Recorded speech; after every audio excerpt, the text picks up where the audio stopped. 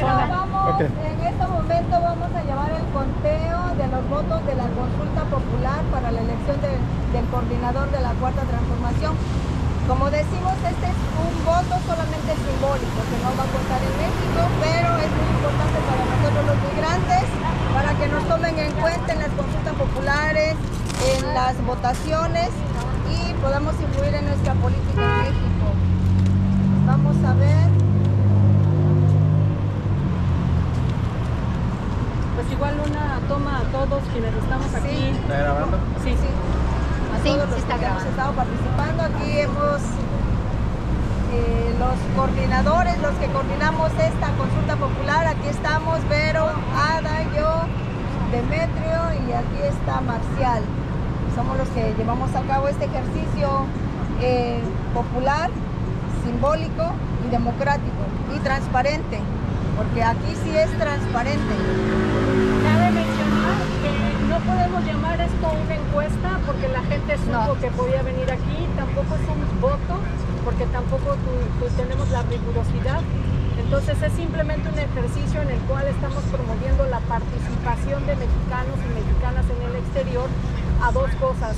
Una, a exigir nuestros derechos político-electorales para que podamos participar genuinamente en el 2024. Un llamado también al partido Morena porque no está cumpliendo con la tarea de la democratización en el entendido de que no está permitiendo que mexicanas y mexicanos en Estados Unidos podamos participar. No hay excusa, lamentamos que, que no lo hayan hecho, pero es tiempo de rectificar. Y aquí estamos, vamos a hacer este conteo, es simbólico, no pretendemos que esto sea un ejercicio en el que digamos esta es el pensar o el sentir, ni siquiera de la zona triestatal. Pero por algo vamos empezando y lo que queremos hacer es que nos acostumbremos a hacer estos ejercicios y entre más personas los hagan, vamos a acostumbrarnos y vamos a acostumbrar a nuestros futuros gobiernos y también a la gente de los partidos a que aprendan a respetarnos en donde sea que nos encontremos. Adelante. Perfecto. Vamos a hacer el conteo de aquí de Manhattan. Ya hicimos el conteo de Queens y de Brooklyn. Al final vamos a hacer el total de todos los votos. Ok, empezamos. Gerardo Noroña, Gerardo Ella. Noroña. un voto. ¿Ahí los vas a poner o no vas? Bueno, Claudia Sheinbaum Pardo. Un voto, Claudia Sheinbaum Pardo. dos votos, No sé. no Hay personas que no saben ni por quién votar. También, bueno, todo es válido poner. Fernando Noroña. Gerardo Noroña. dos votos, Claudia Sheinbaum. tres votos, Claudia Sheinbaum. cuatro votos,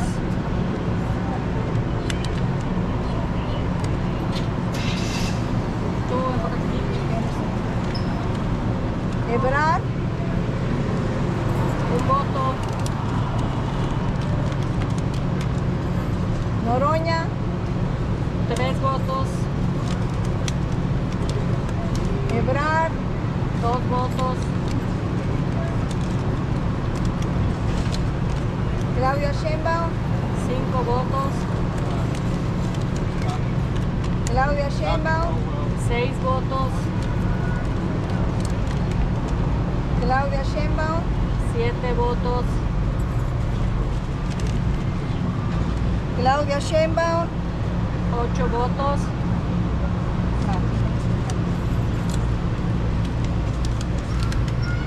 Claudia Sheinbaum. nueve votos, Gerardo Fernández Noroña. cuatro votos, Ebrard. Votos, No conozco a los candidatos.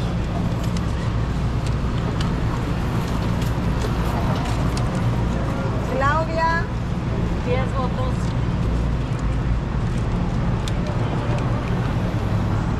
No conozco a los candidatos. tres, ¿Sí estás grabando? No sé.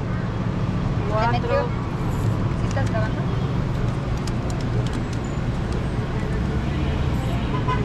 Adán Augusto, un voto.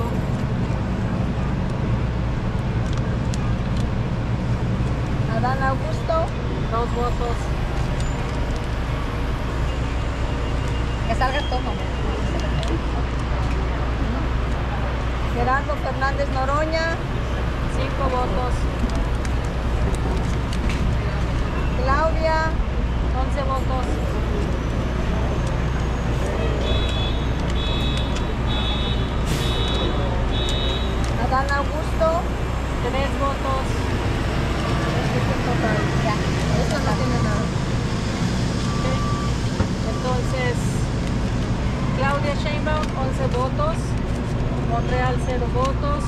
Marcelo, 3 votos.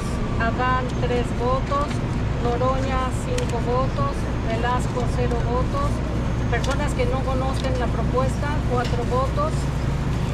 Haremos la suma de estos votos para dar el Entonces, total. en total, Claudia Sheinbaum, 11 en Manhattan, 3 en Brooklyn y 2 en Queens.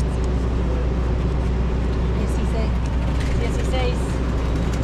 Monreal no tuvo votos en, el- en este ejercicio.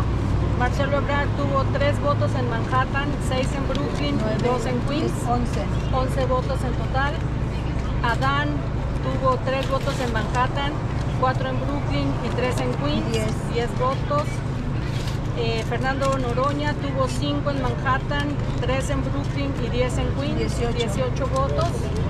Velasco tuvo un voto en Queens y personas que no conocen y les gustaría que el partido diera más información, eso nos expresaron tres personas en Queens, cuatro personas aquí en Manhattan, un total de siete personas y hubo un voto nulo en Queens, estén pendientes de eso, un total de eh, participantes 16 más 11 más 10 más 18 más 1 más 7 más 1. Entonces, pues bueno, ese es, esos son los aquí el total para que lo sumemos. eh, para que sumemos que Por ejemplo, 2 a 2 Ya está. más 3. Ya está. Ah, aquí está. Ah, perdón, sí. Ok, ahí están. 2 más 3 más 16. 11, 16. 16 está bien. Entonces, eh, de acuerdo a esto, eh, las personas que más votos tuvieron en ese orden, el mayor número de votos es Noroña, el segundo lugar Claudia Sheinbaum, el tercer lugar Marcelo Ebrard, el cuarto lugar Adán Augusto y pues bueno, si saben hacer estadística, simplemente suman todos y sacan este, el porcentaje, ¿no? 16 centésimos del, del número de votos totales. Y bueno, lo, lo importante de este ejercicio es invitar a las y los mexicanos a que estos ejercicios deberíamos estarlos haciendo constantemente en todos los lugares y sobre todo el mensaje a tanto a nuestro gobierno como al partido este, Morena es que necesitamos que pongan en algún sitio web para nosotros simplemente decir toma el QR y ve las propuestas, los debates o los logros y también las cosas en las que tienen que trabajar todos estos contendientes y de alguna manera politizarnos y tener una mayor incidencia en nuestro país. Este, no se vale que simplemente nos mencionen como si fuéramos un cajero automático. Entonces ese sería el mensaje y también decirle a Mario Delgado que de acuerdo al periódico financiero no creemos, realmente no creemos que nuestro presidente haya no palomeado o palomeado el actuar de lo que está sucediendo en Morena. Eh, le pedimos que haga una clarificación de eso que está pasando en el financiero, ¿no? es una nota que todos pueden buscar y no creemos que nuestro presidente haya dicho que no se hagan encuestas en Estados Unidos. Somos más de 40 millones de mexicanos de origen mexicano, o 40 personas, 40 millones de personas en Estados Unidos de origen mexicano que deberíamos tener nuestra credencial para votar.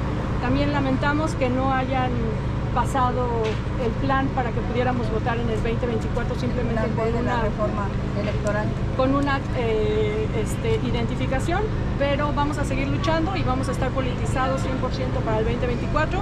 Saquen su credencial, eh, vaya, curran a los consulados, no dejen que un no de un funcionario público los haga perder esa fuerza que tenemos de un voto. Un voto puede tomar, este, pues ahora sí que no puede inclinar la balanza y eso significa hacia dónde va el rumbo de nuestro país, el porvenir de nuestras futuras generaciones. Muchísimas gracias, gracias a todos y creo que nos merecemos un aplauso porque Claro. estos trabajos son ¿Quiere realmente cansados. Sí, sí, sí, claro. Y también es bien importante porque 40 millones de mexicanos podemos influir en el cambio de nuestro gobierno en México. Nos están ignorando y yo creo que sí, nuestras remesas son muy importantes para nuestro país. Nuestra voz y voto también debería de serlo, así que pedimos que tengamos, por favor, que nos tomen en cuenta siempre para todas eh, las decisiones políticas de nuestro gobierno y decirle pues al INE, a la Suprema Corte de Justicia, al Poder Judicial, que también tienen que contribuir en el, en el gobierno de México porque están haciendo un papel pésimo y de nada sirve de que lleguen eh, propuestas del gobierno, que lleguen iniciativas de reformas para modificar ciertas, ciertas leyes y simplemente las rechacen.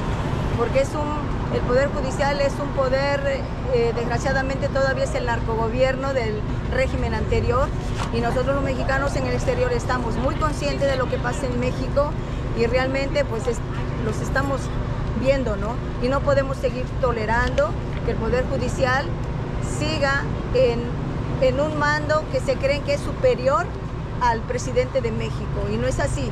Lo vemos desde aquí como un grupo de narcogobierno, impositor, represor, autoritario y violador de derechos humanos y violador de la justicia y de la Constitución. Entonces hacemos un llamado a todo nuestro pueblo de México que tenemos que votar en estas elecciones en el 2024 para que podamos sacar y terminar con esa mafia que todavía tiene capturada nuestra democracia en México.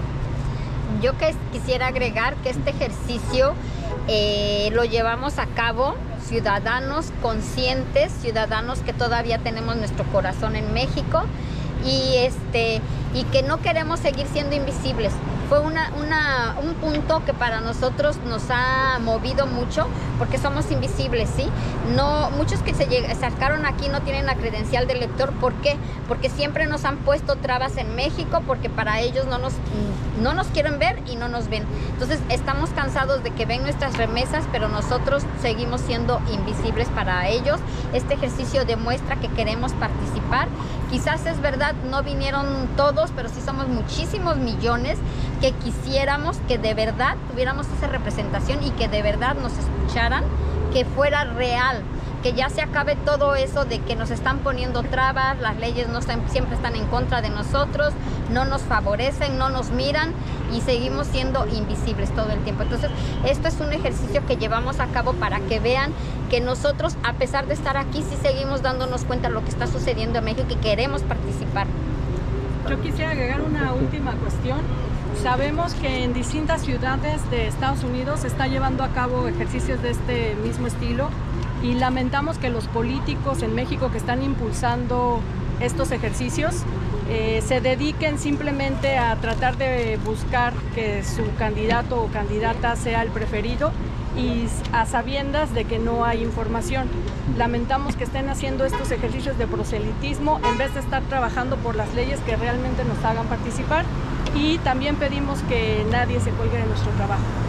Si este trabajo está hecho para ciudadanas y ciudadanos mexicanos, pero no queremos ni vamos a permitir que los políticos sigan usándonos simplemente para sus fines. Es decir, si yo soy un político, un legislador que está a favor de este o este candidato, no vamos a permitir que traten de alguna manera decir, ya hicimos una encuesta y en todo Estados Unidos el favorito o la favorita es fulano. Eso es una falsedad, sobre todo porque aquí les estamos diciendo la participación es de 64 personas. Es lamentable, ¿sí? Nos damos un aplauso porque 64 personas, quitarla de su vida cotidiana, jalarla y decirle, deja de trabajar corriendo porque tienes que ir a traer a tus hijos, a traer el mercado o a buscarte el sostén de cada día para venir a participar aquí, deberíamos de estarles dando la información, llévatela, busca este sitio web o cualquier otra cosa, en vez de estar buscando pues tomar ventaja de ellos. Este sería el mensaje para los políticos mexicanos que organizaron esto en distintos otros lugares de la Unión Americana, que ya basta de que nos vean la cara como si fuéramos sus esclavos, trabajando para ellos, y que esto lo quieran utilizar para decir, ya ven, ganó fulanita o ganó fulanito o quien sea. ¿no? Eh, lo triste es que no hay una participación y que no están haciendo nada para legislar a favor de nosotras y nosotros, sobre todo los diputados migrantes, sobre todo ellos. Muchas gracias. Bueno, perfecto. 64 participantes fueron el total aquí A ver, préstame el en toda el área triestatal.